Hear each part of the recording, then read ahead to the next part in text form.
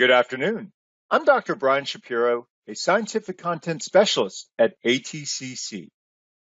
Thank you for joining us for the latest installment in the ATCC Excellence in Research webinar series entitled Virus Culture Fundamentals Methods and Strategies for Viral Propagation, presented by our panel of expert virologists.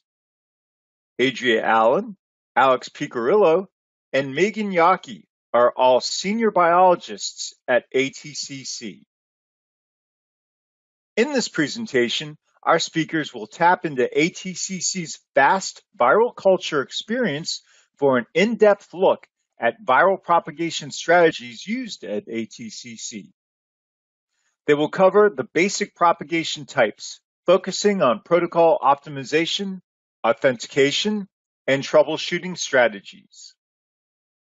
If you have any questions for our speakers, please use the chat function available through the webinar program. All questions will be answered as time allows at the end of the presentation. The recorded webinar presentation will be archived on the ATCC website, www.atcc.org. So with that, I'd like to welcome our first speaker, Adria Allen. Thanks, Brian. Before we get into today's topic, I'm going to take a minute to talk about ATCC.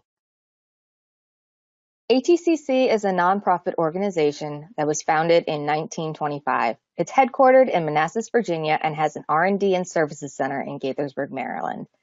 It is a leading global supplier of authenticated cell lines, viruses, which is the focus of this webinar, and microbial standards. In today's talk, I will start off by going over virus fundamentals. Then Megan Yockey will take over and talk about how we authenticate and ensure the quality of our viral products. And Alex Picarillo will wrap up this webinar with troubleshooting strategies that we use. Now on to the fundamentals. In this section, I'm going to go over the basics. This includes the basics about viruses, virus propagation, and virus hosts.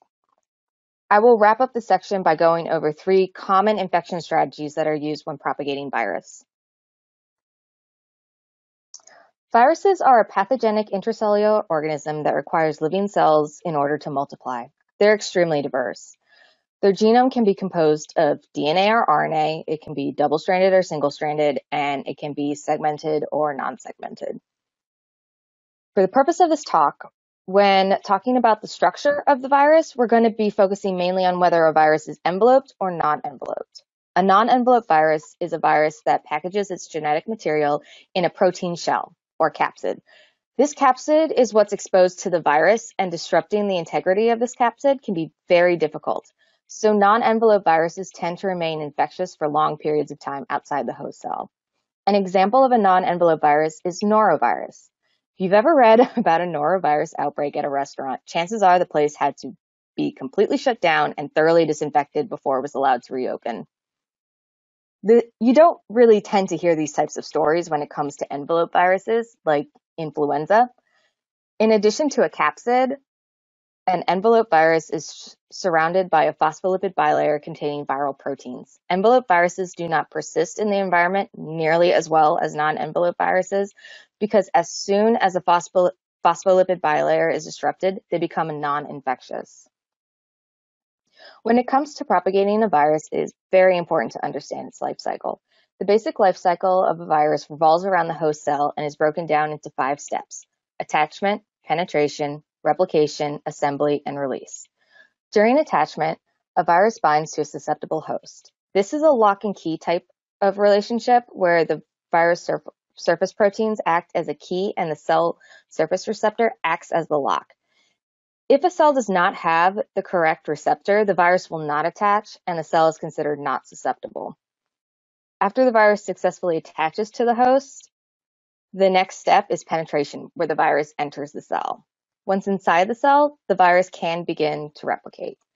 Something to remember is that just because a virus can get inside a cell, it doesn't mean that it can replicate inside the cell. Viruses can only replicate in permissive hosts.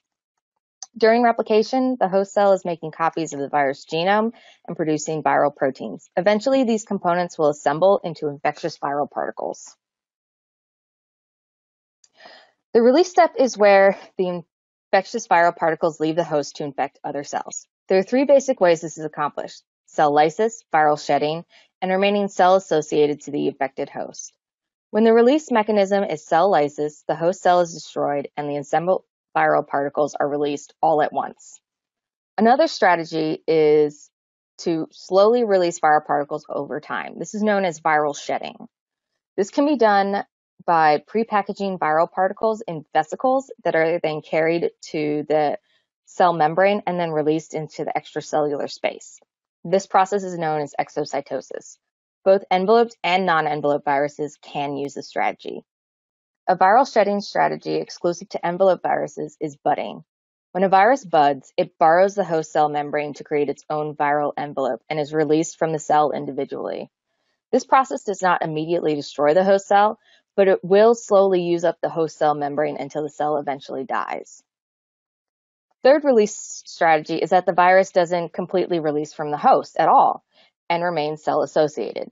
A virus that is cell-associated either loses infectivity quickly after release from the host cell, or the virus is dependent on the host cell to aid in infecting new cells. At ATCC, we focus on mainly the attachment and release steps of the virus life cycle to determine what viral propagation strategy to pursue. viral propagation can be broken down into three basic steps, inoculation, incubation, and harvest. The focus of the inoculation step is to facilitate attachment between virus and host. The incubation step allows for the virus to replicate, and the harvest step is when the propagated virus is collected. What specifically gets harvested during the step is dependent on the virus. This process of inoculation, incubation, and harvest is considered a viral passage. Every time a virus is passaged, mutations in the genome can occur. This means that a virus collected at the end of a viral passage might be slightly different than the virus used during the inoculation of that passage. Mutations are also likely to occur when changing the type of host the virus is propagated in because it causes different selective pressures. In addition to the authentication and quality control methods to validate the viral strain being propagated, the virus propagation history is also monitored. Uh, this is known as the passage history. It's a quantitative chronicle, chronological history of the host used to propagate a specific viral product.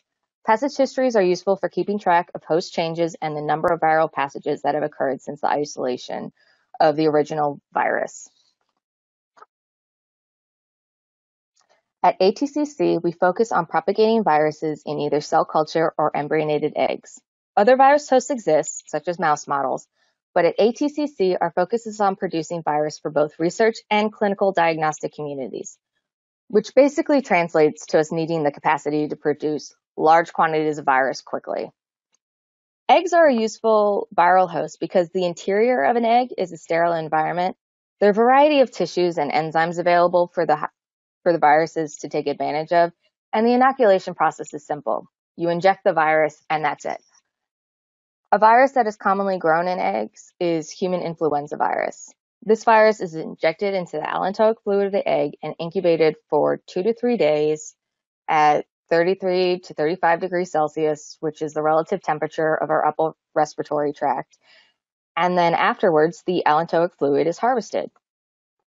A limitation with eggs is that despite the diversity of tissues, it's not a suitable host for all viruses.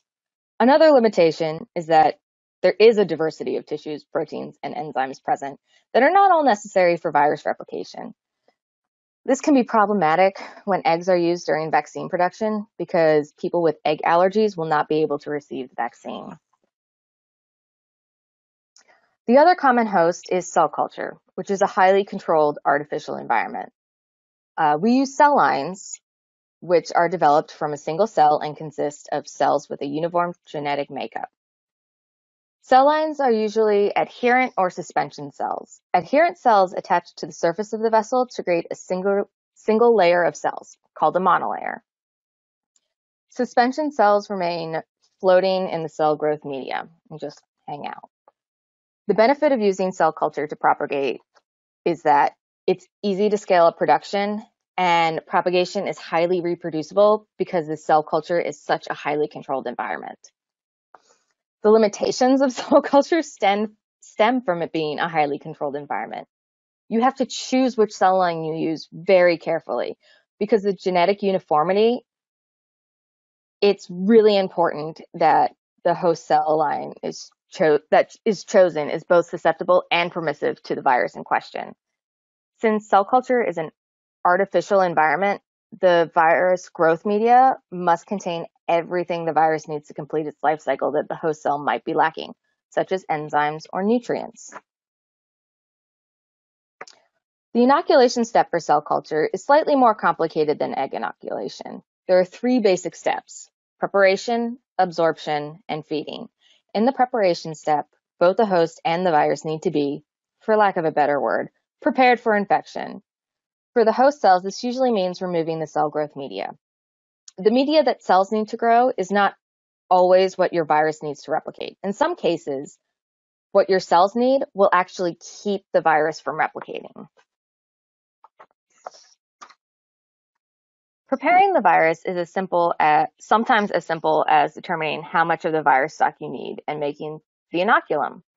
The inoculum is the virus containing media used during the absorption step. However, some viruses either need assistance in being fully released from the host cells or need to be enzymatically activated before the virus can attach and infect cells. So this is all part of the preparation step. After the virus and host cells have been prepared, then there is the absorption step. The purpose of the step is to facilitate attachment between the virus and the host. One way we increase the likelihood of attachment is to keep the volume of the inoculum low. This increases the surface area to volume ratio and increases the probability of viral particles encountering the host cells and actually being able to attach. The absorption step is usually one to three hours. The last step of inoculation is feeding. This is where viral growth media is added. The purpose of viral growth media is to keep the host cells alive long enough to replicate virus and to provide the virus with anything it requires to replicate that the host cell might not provide itself. The incubation step is a waiting game where the infection is allowed to progress until enough replication has occurred to harvest the infection. But the question then becomes, when do you harvest? For most viruses, it's based on the presentation of cytopathic effects, or degenerative changes observed in host cells. Some common cytopathic effects are cell rounding and clumping, which can be observed in the human adenovirus 41 infection, as well as cell enlargement and synesthesia. Synesthesia is when infected cells fuse together into one giant cell with multiple nuclei. You can see an example of synesthesia in the photograph of, um, of the murine hepatitis infection. When I was working with this virus, I found it really interesting to observe giant cells with dozens of nuclei speckled throughout the monolayer. This is my favorite kind of cytopathic effect. Not all viruses cause cytopathic effect in their hosts. And yes, I have worked with viruses like that as well. For these viruses, we harvest based on incubation length and have to authenticate that the virus is present using other methods, which Megan will talk about later. Now that you've had an introduction into when to harvest, let's go over harvesting.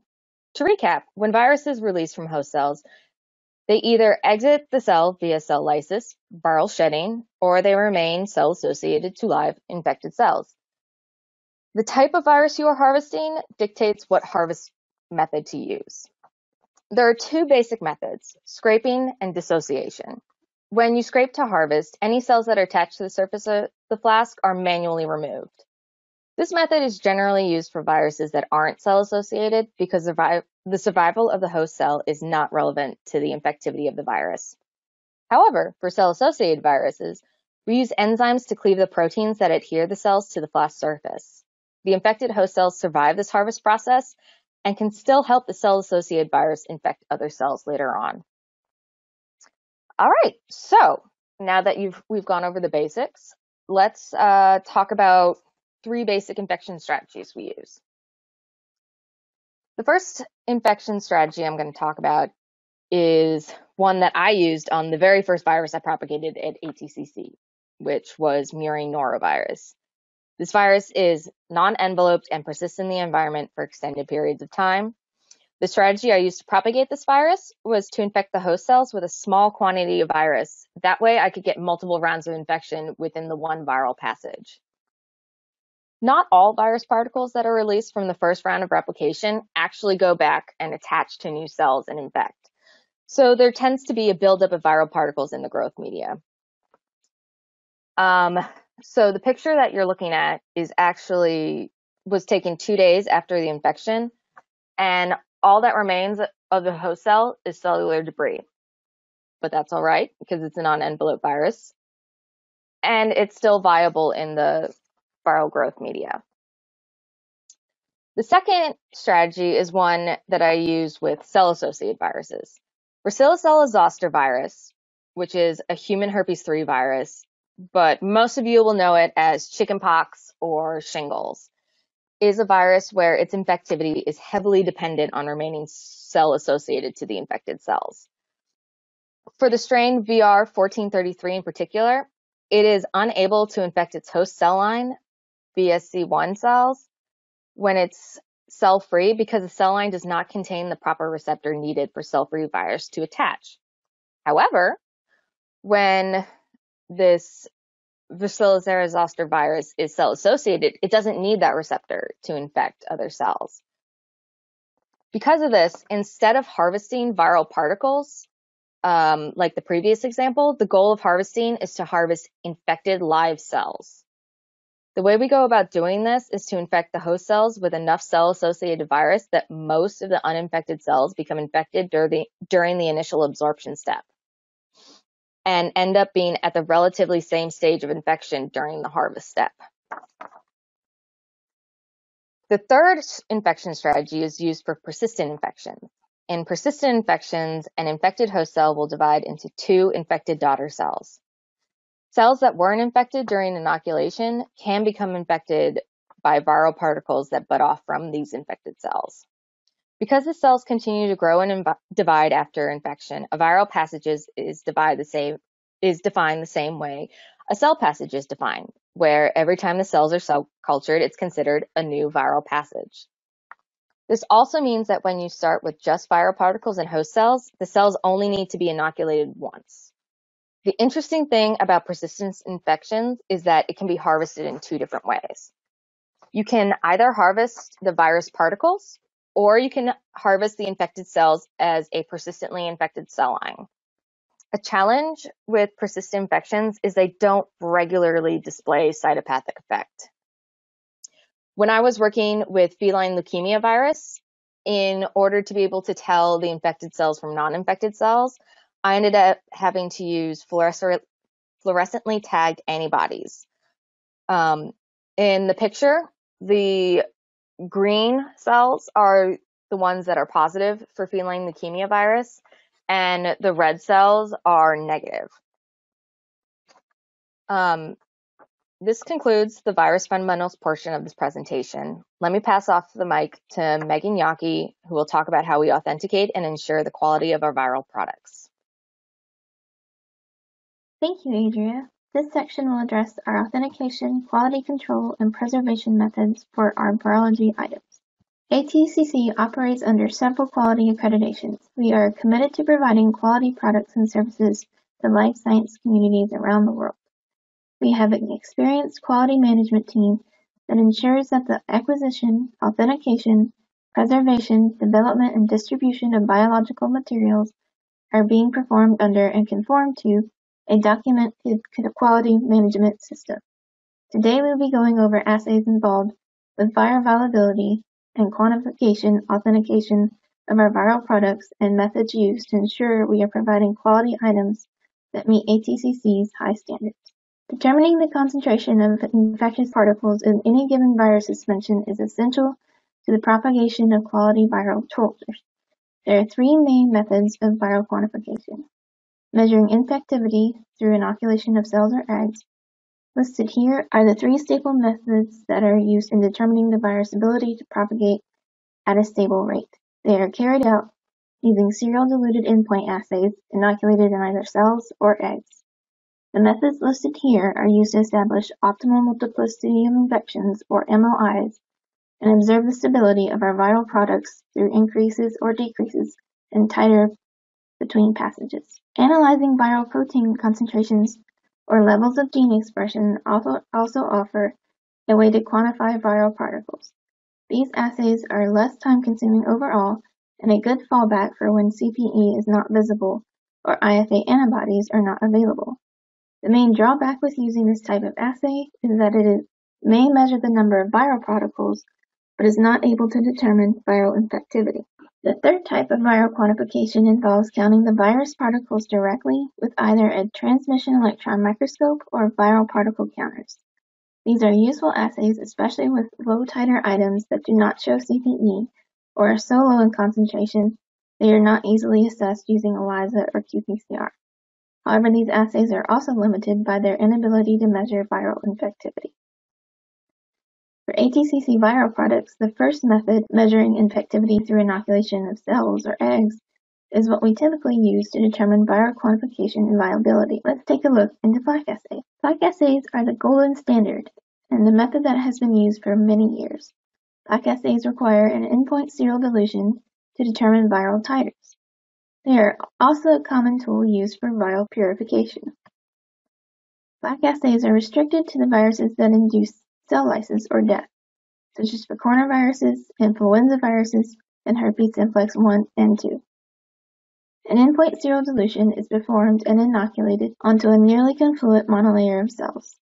Once incubation is complete, a tempered agarose overlay containing AGM is added to each sample. The assay is then incubated for the required number of days based on viral type. Here is where plaque assay methods begin to differ. Several different plaque assay methods exist, even virus-specific ones. A few examples involve the following treatments. One of the oldest techniques removes the overlay, requires fixing the cells, and finally staining the cells with crystal violet to easily count plaques. A second common method adds a second overlay mixed with neutral red for plaque counting. Virus-specific assays can use immunohistochemistry to confirm plaques, increasing specificity of the assay by using virus-specific antibodies. We use an assay of this type for some of our influenza strains. PFU, or plaque forming units, are calculated by counting the averaging the number of plaques per dilution. Counting is limited to wells that contain 5 to 100 plaques. That average is multiplied by the virus dilution. This number is then divided by the inoculum volume to determine plaque forming units per milliliter. I have added photos of a recent item that I grew, VR2248, which is equine herpes virus 1. This virus is known to cause abortions in horses. This was a strain that we had not previously applied a plaque assay to. This plaque assay cuts a significant amount of time in production as it only takes three days versus the viral titer which can take up to eight days. Our next endpoint dilution assay method is the TCID50. Viral titers can be determined in vitro by calculating tissue culture infectious dose. For tissue culture adapted viral strains, this calculation is attained through an endpoint dilution assay in cell culture. The most reproducible endpoint of the dilution assay is the dilution of the virus that will produce a pathological change in 50% of the cell cultures inoculated. This number is expressed as 50% of the infectious dose, or TCID50. This assay can take 3 to 14 days based on virus and cell type. The end of this assay is determined once it presents no change in CPE for at least 3 days. It relies on the presence and detection of CPE and is scored based on the presence or absence. This data is then used to calculate what dilution of the virus will present CPE in 50% of the cells inoculated. ATCC uses the Reed-Munich method to calculate TCID50 per ml. The results of these assays ensure the viability of our viral products as ATCC requires a minimum titer of 5 times 10 to the third. It also allows us to observe any propagation changes between different passages for production or historical seed lots. In some cases, viral products do not produce CPE and are not measurable in this way. For this, we will look into how IFA and PCR or reverse transcriptase PCR are paired with an endpoint dilution assay. The first one we will look into is IFA assay. The immunofluorescence assay, or IFA, is a method of detecting and visualizing a specific antigen in a sample using an antibody or antiserum conjugated with a fluorescent dye, which is observed by a microscope equipped to detect fluorescence. This assay can be used to interpret results of a TCID50 by the absence or presence of immunofluorescence instead of CPE. It allows you to clearly visualize cells infected with virus. This assay has a higher specificity, specificity over a standard TCID50 as it uses specific viral antibodies. Once incubation period of a TCID50 has ended, the cell monolayers are fixed. The wells are then stained either using either the direct or indirect method. With direct antibody staining, the primary antibody is directly conjugated to a fluorophore. For the indirect method, the primary antibody is unconjugated, and a fluorophore conjugated secondary antibody directed against the primary antibody is used for detection. This actually happens to be one of my favorite assays as the resulting images are fascinating. The photo above is of VR1979, a human adenovirus that I recently adapted to a new cell line. The green fluorescence indicates presence of the virus, which allows you to clearly visualize the infected cells. Next, we will take a look into RT-PCR and PCR as this method of a viral titer verification. Another way to verify TCID50 assays is by using reverse transcriptase PCR for RNA items or PCR for DNA items to determine absence or presence of viral product. This method is used when CPE is not visible and there are no available antibodies for IFA staining. This assay is not as indicative of viral infectivity as the others, as presence or absence of RNA or DNA is not necessarily a representation of the virus infecting the cell. The process is fairly labor-intensive, as each well of the TCID50 assay is harvested and extracted separately. Once extracted, RT-PCR or PCR is performed individually for each well to determine viral titer based on EGEL results. Here is shown an EGEL for the viral titer of VR837. This is a virus that Alex recently produced that required an extreme amount of work. You can see the intensity of the bands decreases as the dilution increases and a clearly defined endpoint. Another type of endpoint dilution assay is the CEID50.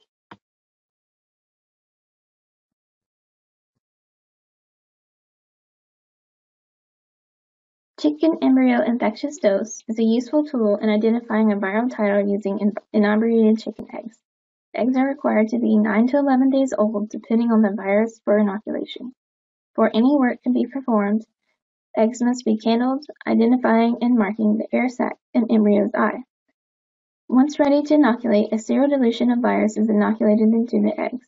After allotted incubation, allantoic fluid is harvested from each egg and stored individually. Influenza is commonly tested in this way. In order to verify and measure the outcome of CDID50, we use the HA assay.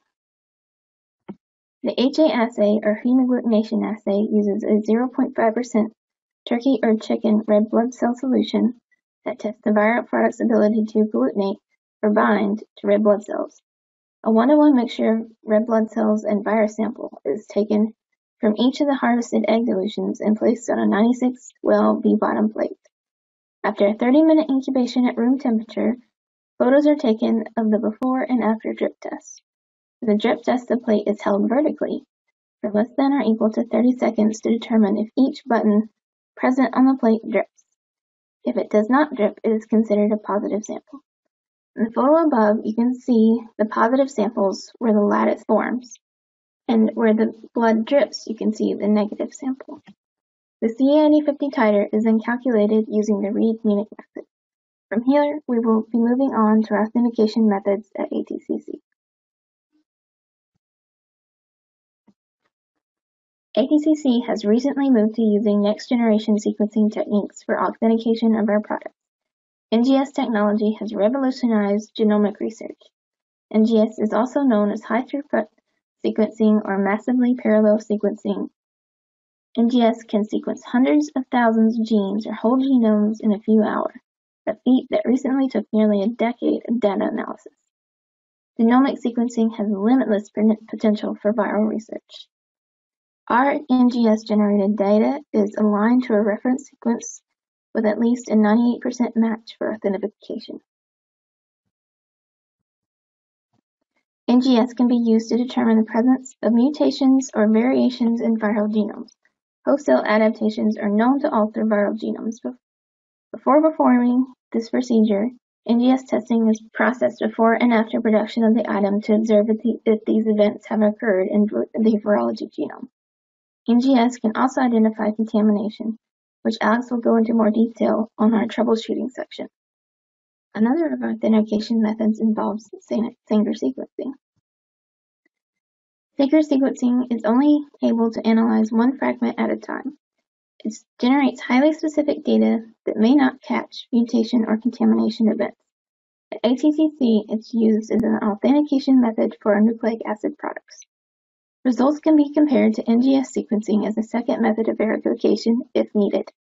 It is generally unable to detect mutations, variations, or contaminants, which is one of the main reasons behind ATCC's switch to NGS items.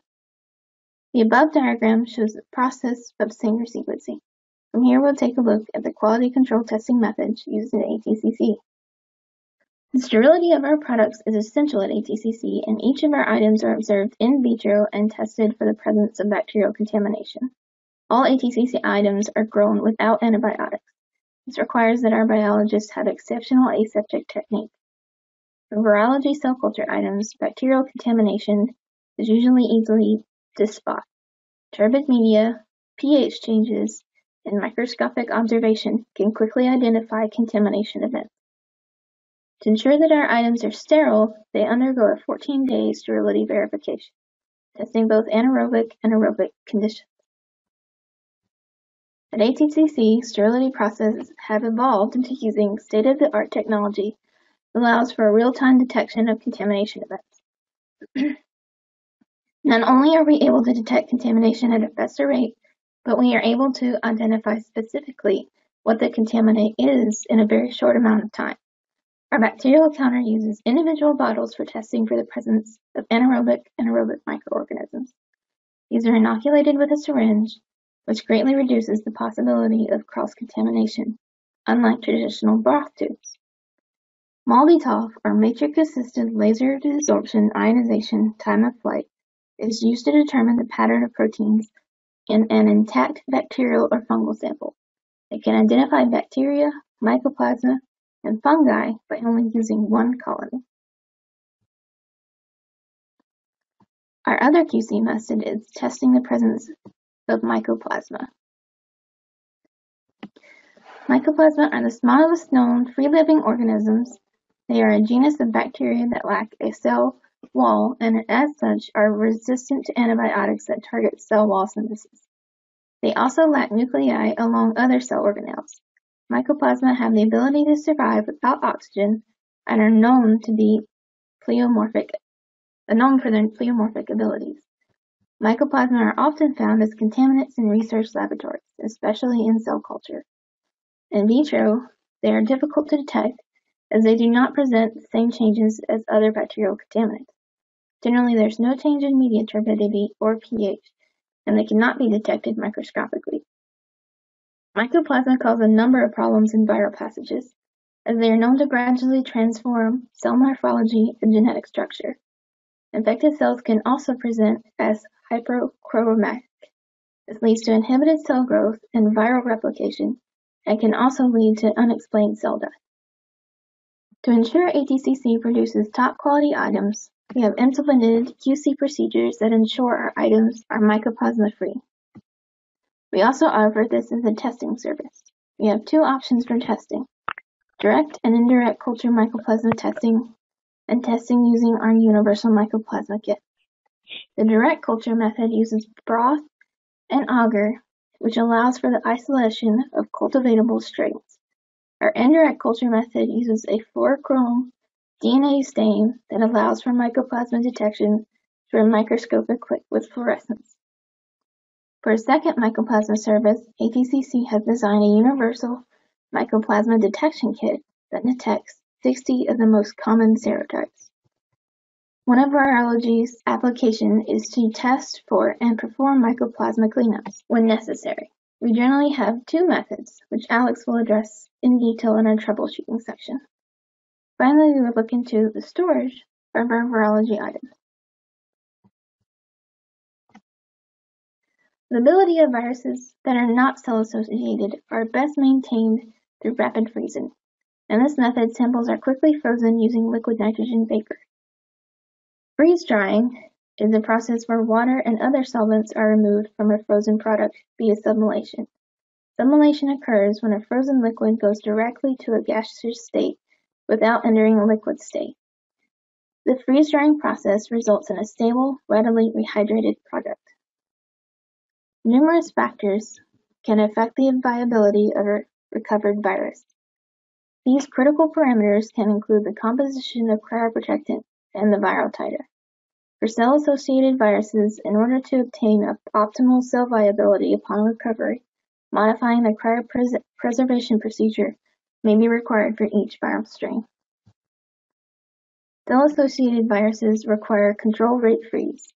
ATCC provides the cool cell alcohol-free cryopreservation container, which is easy-to-use device designed to support cell, viral, bacterial, protozoan, and fungal cultures using slow freezing rate of minus 1 degree C per minute and a standard minus 80 degree C freezer. This procedure prevents ice formation that could reduce cell viability. Final cell-associated viruses are stored in LN to preserve integrity of cells. From here, Alex will take over our troubleshooting section. Thank you so much, Megan. I will now go over what MSAT virology's role specifically is as it relates to R&D and troubleshooting. There are some instances where viral replication and propagation can fail. Thus, it is up to MSAT virology to understand what may cause these problems, and more importantly, how we can prevent these problems for future productions. There are several growth issues that may contribute to unsuccessful replication and propagation, and I will go over each of them in more detail. These issues include MOI, or multiplicity of infection, is not fully optimized, the virus of interest is not adapted to the most appropriate host cell line. The in vitro environment is missing important growth factors, such as the lack of crucial enzymes or complications with the media formulation. And lastly, contaminants in the cell culture and or the virus itself. And just to reiterate, it is the goal of MSAT virology to perform R&D as needed to resolve these growth issues and to improve the overall quality of existing viral products, uh, of existing viral products.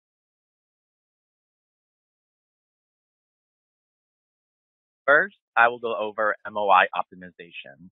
MOI, or multiplicity of infection, represents the ratio of infectious agents, whether it be a phage or virus, to infectious targets, most commonly cells of a tissue culture or embryonic, embryonic egg.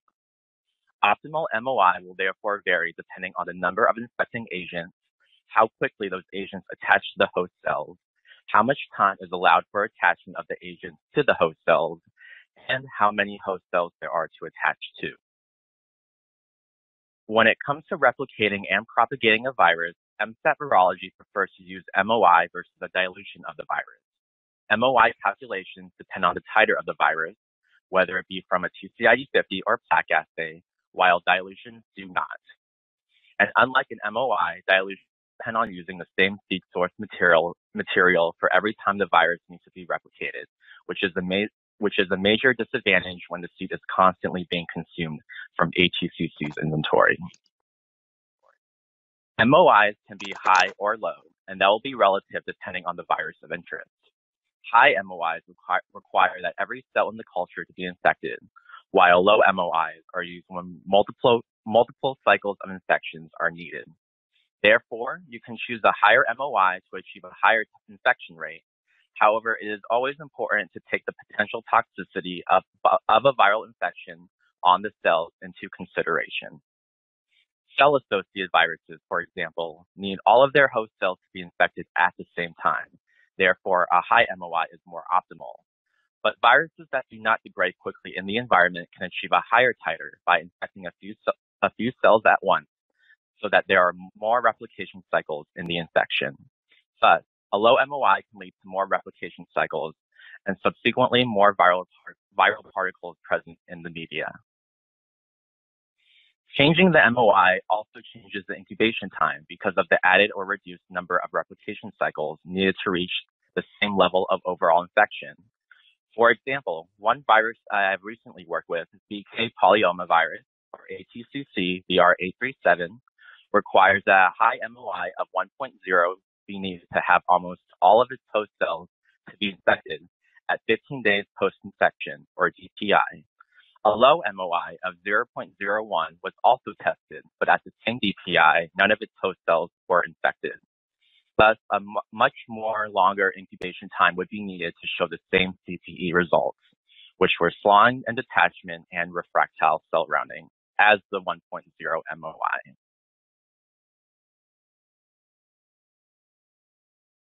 Next, I will discuss the importance of adapting to the most beneficial host cell line. Just because the virus can replicate and propagate in a cell line does not mean it will replicate and propagate well which can lead to issues in, in reproducibility. Many viruses are host specific, meaning that they only infect certain types of cells within tissues. This is called tropism. For example, a poliovirus shows tropism for tissues of the brain and spinal cord, while other viruses, such, such as influenza, has primary tropism for the respiratory tract. Numerous viruses in our catalog, especially much older items, are sent by depositors from primary cells eggs, or even in vivo, in vivo models, and therefore they will need to be adapted to an ATCC cell line. MSET virology prefers to propagate viruses in host cells for at least three consecutive passages to ensure that the virus is fully adapted to the host. Another virus I'm currently working with is the human Coxsackie virus. This virus was deposited to ATCC in 1969 and was propagated in the brain and limbs of suckling mice. I am attempting to adapt this virus to ATCC CCL136 RD cells, or human muscle cells. As you can see, by attempting a third passage after my second one, the CPE of the virus has, has substantiated with more prominent spots of monolayer degeneration as well as much more cell clumping and rounding.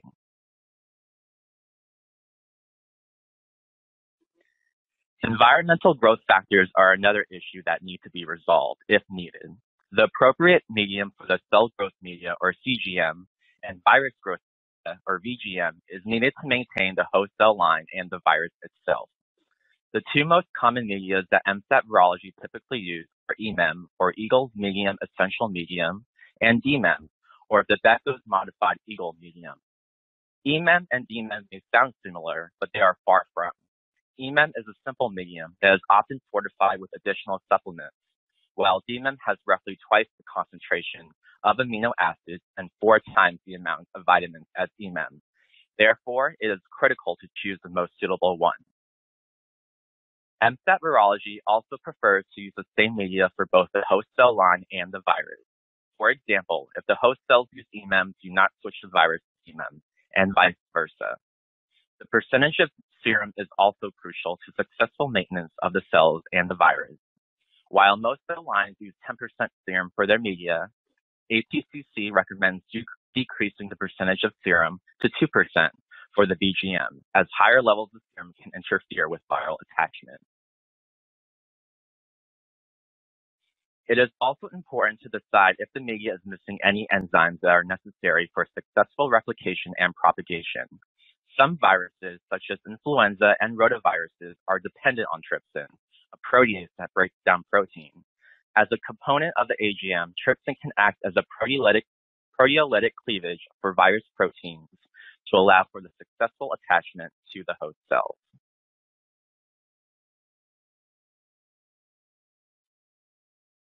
The last major growth issue MSAT virology takes into consideration is contaminants viruses can become contaminated with various bacteria, fungi, and or, uh, and or other virus DNA and RNA cultures, especially much older items in the ATCC catalog. Virus cross-contamination can be detected by NGS or next-generation sequencing and resolved by plaque purification. The most common contaminant MSET virology deals with is mycoplasma, which can be removed by either mycoplasma removal agent, MRA, or diethyl ether. MRA is an antibody used for envelope viruses. It is selected from mycoplasma and it will not interfere with envelope viruses. Non-envelope viruses, on the other hand, use diethyl ether to remove mycoplasma by destroying its lipid bilayer, which can prominently be seen in the diagram above. Envelope viruses would thus get destroyed as well by the ether since they also possess a lipid layer. MSET Virology has recently performed many mycoplasma cleanups on rhinoviruses in our catalog, as well as adapting these items to ATCC human lung cells or CCL75WI38 cells. Other bacteria and fungi can be removed by filtration or the use of antibiotics or antimycotics respectively. If the virus is cell associated, cells can be disrupted by freezing and thawing material or sonicating the suspension. All of these growth issues have applied to existing viral products at ATCC, but what about new accession items? I'm happy to say that MSET Virology directly works with these items as well. Viral samples are sent to ATCC from researchers and scientists from all over the world to be deposited for eventual propagation and authentication. With more than 2,000 viruses in our catalog, including type strains from different host species, ATCC guarantees that every viral preparation made is as close as possible to the original culture deposit, while taking any necessary measures, including MOI optimization and adapting to the most beneficial host to provide the best product available, available to our customers. Have a sample you're thinking about dropping off? please contact the Central Accessioning Unit at cau at atcc.org or visit the website listed below. So in conclusion, today we discussed three main topics, the first of which was virus fundamentals. Virus propagation strategies depend on how a virus infects and how it is released from host cells. And host cells must be both susceptible and permissive for viral propagation to be successful. successful. We also talked about the importance of authentication and quality control. ATCC uses a variety of methods to ensure the viability, the viability and authentication of our viral products, and the integrity of our viral items is preserved through proper storage techniques. Lastly, we touched upon the role of MSET virology and how it relates to troubleshooting strategies. The main goal of MSET virology is to perform the R&D to fix viral replication and propagation issues, including optimizing for MOI, adapting to the most appropriate cell line, adding the ideal environmental growth factors, and removing contaminants from the virus culture. And viral samples deposited to ATCC will be properly replicated and authenticated while taking any essential measures by MSET virology for successful propagation. And with that, we will now go into any questions from the audience. Thank you. All right. Well, thank you, Alex. In just a few moments, we will begin our Q&A session. Uh, please use the chat function available through the webinar program to submit your questions. The recorded webinar presentation will be available on demand on the ATCC website at www.atcc.org. And it looks like Anima Adhikari and Nishant Bala from our virus laboratory has joined us. So, okay, let's go ahead and start with our first question. Uh, where do we find information on how to propagate a virus from the ATCC catalog? Um, you can uh, uh, find information uh, about the viruses in um, ATCC website, atcc.org. Um, you can type in the item number or the virus that you're interested in, and then the um, you click on that, and the information can be obtained from the product information. And if you know the virus or you know the lot number, you can also type in the lot number and you can get more information about that virus from certificate of analysis as well. All right. Well, thanks, Anima. Good answer. Good answer.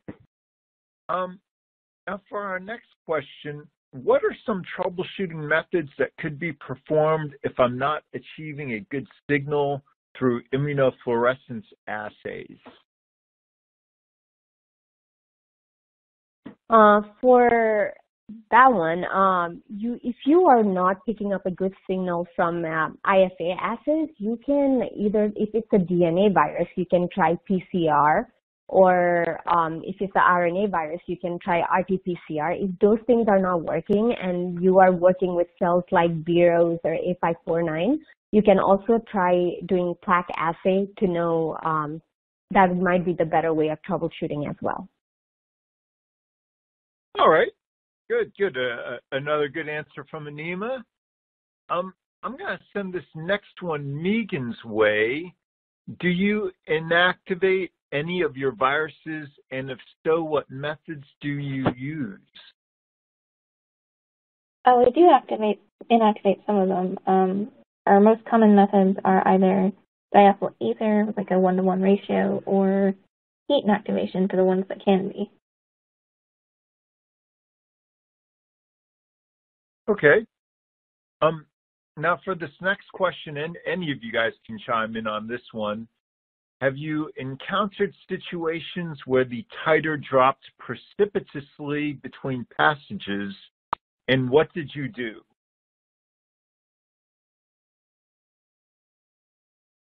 Megan? I mean, yes, I've encountered one that did that. Um, your best option is to um, work with the virus. Maybe the cell line is no longer able to hold, handle the virus that you're working with. You might want to look into other cell types. It could also be um, an interferon response from the cell line. If Nishnik wants to um, go into that a little bit more, you can. Yes.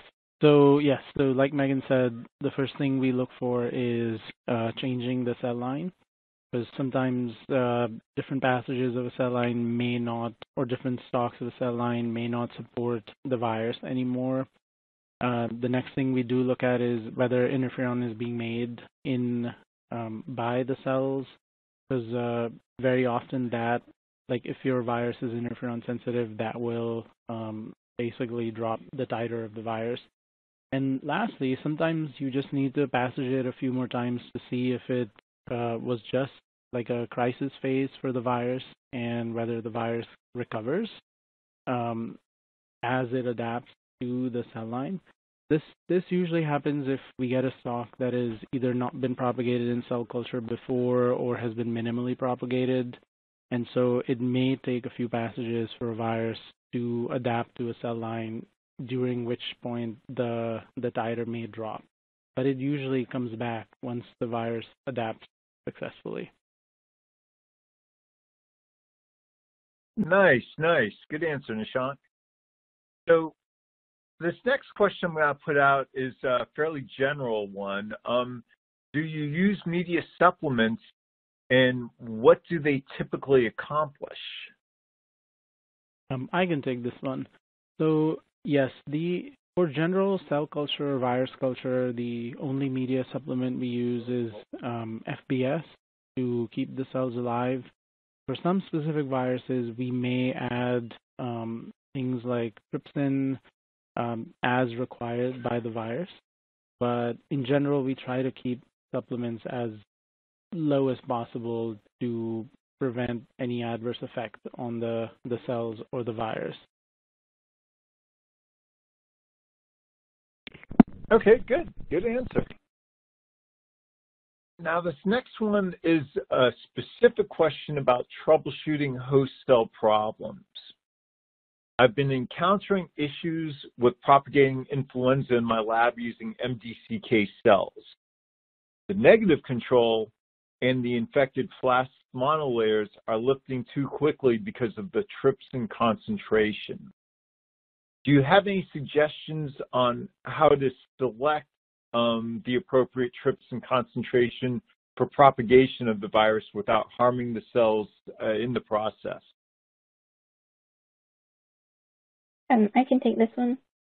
So you really need to look at the enzyme activity of your stock solution and do a solution of the trypsin and treat it the cells and try and find the best concentration for that cells with that specific stock concentration.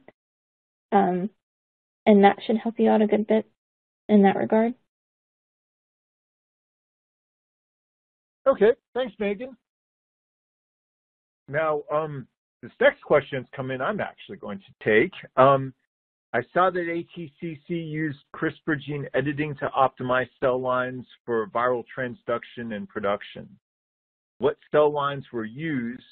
How was this done? And uh, are they available? So I, I, guess to answer the last question first, yes, they are available.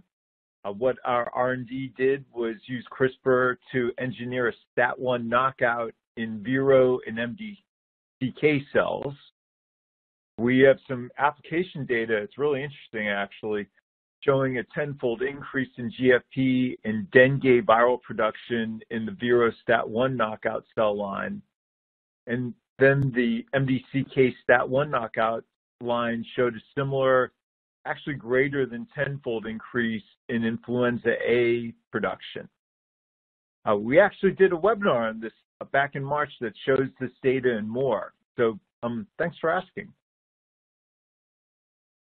So now I guess I'll go ahead and move on to the next question for our panelists. What is the viral counter? Is it an instrument?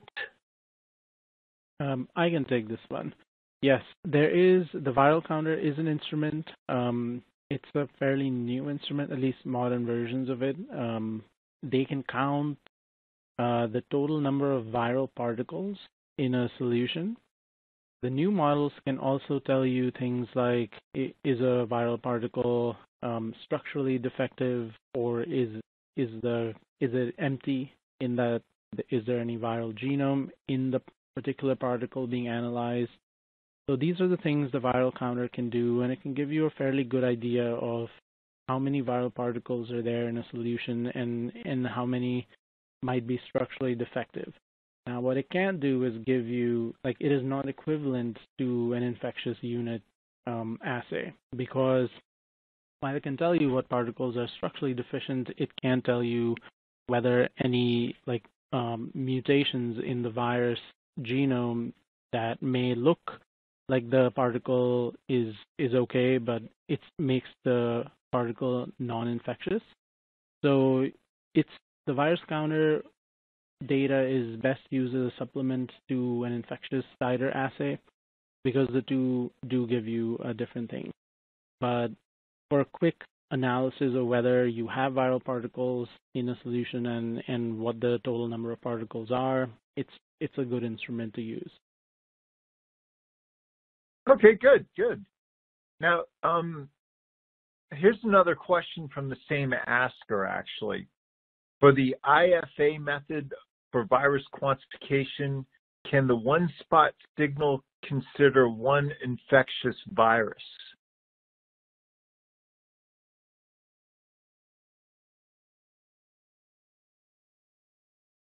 So for that one, I would say uh, no. You would need at least a generalized, at least um, five or six um, positive cells in the same well but consider it a positive well. A one-spot signal could just be um, staining that went wrong or something like that. It's it's too weak to really call a positive signal. Okay. Now, this next question, um, I think I'm uh, uh, direct to Nishank. Um, can the Reed-Munch method be applied to all kinds of viruses to calculate their titer? Um, so the Reed-Munch works best when a virus has clear cytopathic effect. Uh, so you need a virus to be able to show some kind of cytopathic effect um, in order for the Reed-Munch method to be used. The other um, virus, the other category of viruses that it'll work for is if obviously if, you can dilute the virus um, adequately, so you can you can combine the read munch method with an immunofluorescence stain. Um, the viruses it doesn't necessarily work with are ones that have no cytopathic effect um, or ones that might be cell associated and so propagate very slowly um, or ones that are that are persistently infected cells. In those cases, you do have to combine the Reed-Munch with um, a way of quantifying the number of uh, virus, of replicating virus particles or um, units in in your sample. So the Reed-Munch itself is just a mathematical calculation that uses input data from a number of sources to give you an output titer. Um, traditionally, the Reed-Munch has been used by looking for CPE, but now you can you can do the same by using IFA or even PCR for that matter. Okay, that's a very nice answer, Nishank. Thank you. So, okay, we've had we've got a ton of questions coming in. Um, so moving on to the next one, how can I obtain a detailed protocol for determining the MOI of the virus I purchased from ATCC? I need to use an MOI of 10 for my assay.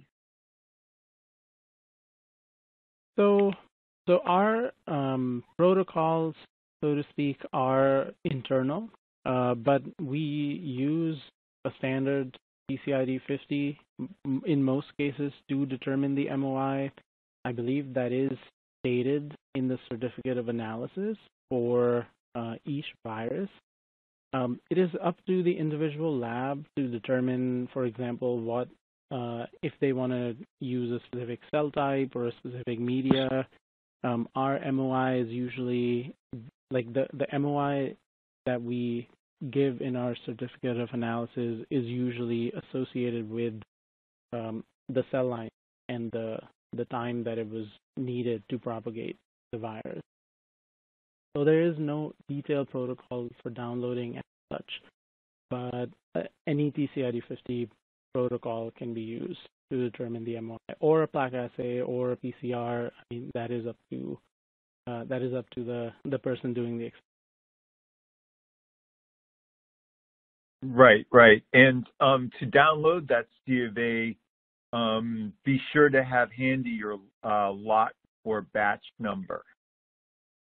Uh, and if you have any uh, issues in, in finding the lot and batch number, if you didn't write it down in your lab notebook or if you don't have the original vial still, um, you can reach out to our technical service representatives for that information. Okay, so um, to the next question, um, can you speak to how you virus the HCoV229E as well as uh, why you only use the TCID50 to titer instead of plaque assay? And, and then just kind of a follow-up to that, I mean, can you correlate TCID50 to um, plaque forming unit? Yeah, I can take this one. So we harvest the HCoV229E by looking for CPE. So assuming we find, um, I believe our internal recommendation is for um, a specific amount of CPE. I think it's fairly high, uh, close to 70 to 90 percent. Um, and wait, no, uh, it's not quite that. High.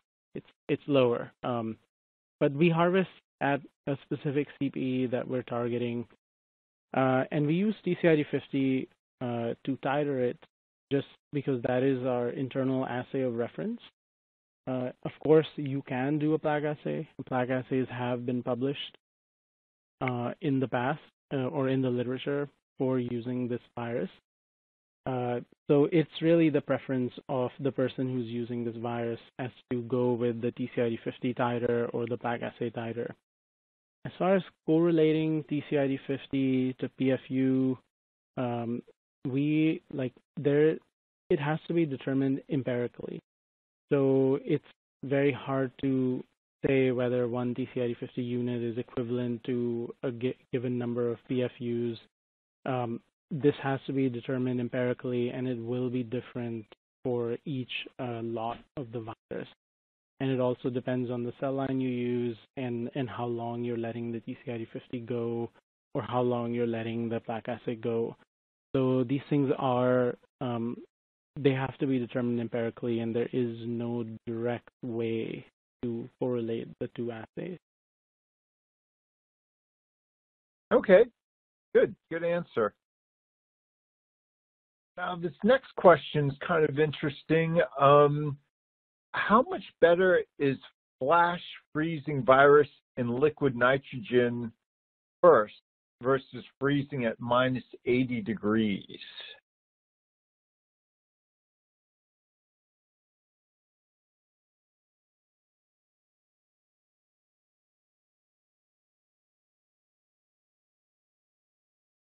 Oh, could you repeat that question? I'm sorry. I, yeah, sure, sure. Um, Nishank, so how much better is flash freezing the virus in liquid nitrogen first versus freezing it at minus 80 degrees only? Um, so our what we have found at ADCC is that flash freezing at liquid nitrogen is better generally, and long-term storage of the virus should also be done at liquid nitrogen.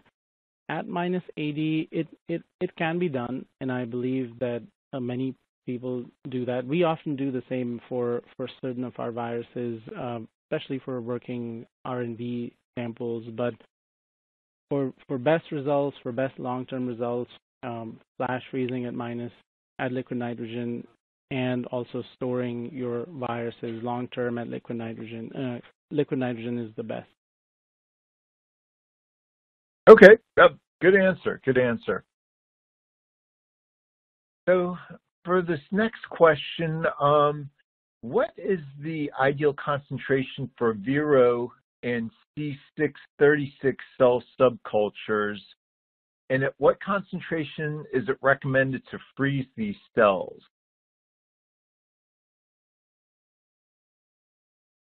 And, and there's actually a little bit of a follow-up to this. Um, how many cell passage numbers are recommended to use? Um, or are they infinite? Um, okay, I can I can take this one. Uh, mm-hmm. So the ideal concentration for subculturing cells like Veros and C636s is uh, dependent on the application. There is I I would hesitate to say there is one specific concentration you should use to subculture always. Um, if you want your cells to grow faster, use subculture at a higher concentration. If you want them to grow slower, at a lower concentration. Um, so it really just depends on the the the application that the cells are going to be used for. Um, as far as the number of cell passages, we generally don't passage cells more than 10 times before we bring out another vial of cells. Um, I know this practice differs in other places, but the, the higher the cell number, the higher the cell passage number, the greater the chance of the cell to become aberrant or mutate or even simply die. And so we keep the passage number to about 10. That being said, the how many passages the cells can go. Some cells can keep going for a very long time, 40, 50 passages. Some cells may go for only three or four passages. Uh, it, that depends on the cell. And the last part of the question was what concentration to freeze these cells. Um, I I would say that also depends on how many cells you want to freeze down. There is an upper limit uh, but there's a very wide range of what concentration you you can freeze the cells. So, for example, you can take cells from a T150 flask and freeze about six to ten vials out of that. Um, that's that's one recommended concentration for Veros, uh, but you can you can freeze them at a fairly uh, there's a fairly broad range uh, to freezing them down. Okay, good answer. Yeah, I mean, if if you have any real questions about that, you can go to the um, product detail pages um, on our website actually for Vero cells. I know we have an MDCK um, and many others that are used. Um, we we have good culturing um, information, tips and techniques, and that sort of thing, and good starting points for for that. So so thank you. And yeah, I would also say ten passages. Now, for this next question, this sort of flips that question a little bit. Um, how many passages or propagations of a virus before there's genetic drift? So we talked about for the cells, now we're talking about for the virus itself. Uh, yes. So this is again dependent on the virus. It, it is actually dependent on the mutation rate of the virus. So some viruses, within a single passage, you will start seeing mutations that have an effect on the phenotype of the virus. Um, for some viruses, like there is, um, they can propagate for a while before you start seeing uh, changes in their genetic code. It's generally RNA viruses that are much quicker to mutate, uh, as that is part of their evolutionary survival strategy. Um, whereas DNA viruses, especially DNA viruses that encode for error correction mechanisms, will have a much slower rate of uh, genetic drift. So the the answer to this question is it just depends on the virus and if and there's and the number of passages that it might require for virus to mutate is also heavily contextual. It depends on the cell line you're using. It depends on uh, the MOI. It depends on, you know, are there any uh, evolutionary pressures being put on the virus during culturing. So it can depend on all of these things, and it really, um, yeah, it depends on all of these things. And there's no specific number because it is uh, contextual on the experiment being performed. Okay, good. Excellent answer. So now, have you ever run into the issue where influenza shows no infectivity on the first dilution during titer check, but shows on the lower dilutions? And if so, um, how did you fix it? Um, to my knowledge, we have not run into this issue. So I may not be able to answer this question for you. Um, I do have some insight. If you're running into a lot of tighter issues with influenza, I suggest using our MDCK knockout line um, to try and get higher titers of influenza. Thanks, Megan. Good answer. I like it.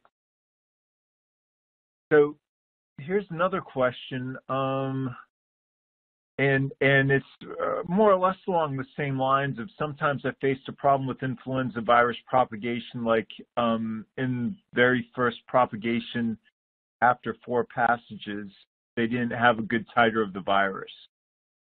Um, so there's the one suggestion that um, you know go to a Statlin knockout cell line, for for example, to to increase the titer. Um, and anything else? Um, I mean, you can try a different cell line. That's probably the the biggest one. Um, you can try to change the trypsin concentration. You may just want to keep passaging it for a while before the virus grows out. Uh, but sometimes viruses don't adapt. That it, it may be an issue with the specific strain of the influenza being used because it might not be um, willing to adapt to the cell line. Okay. Oh, good, good answer. Good answer. Now, how would you troubleshoot negative control cells that appear to show cytopathic effects along with the positive virus infected cells? Um, and they go on to say that the PCR results show no RNA in the negative cell culture when the positive shells, cells did show RNA? So in this case, um, you know, my guess is the CPE is showing up because the cells have either become overconfluent or that this, this, these particular cells don't do well with a high density in the in the well or the plate. So in in the case where you're seeing CPE in both the negative control and the virus-infected cells, but PCR is showing you no RNA, the recommendation is to use a titer method that is in addition to CPE. So like immunofluorescence would be a good idea, would be a good way to titer the virus because in that case you can titer earlier where you can you can titer just when your negative control cells are have no CBE, um, but you'll still be able to to see virus in those cells.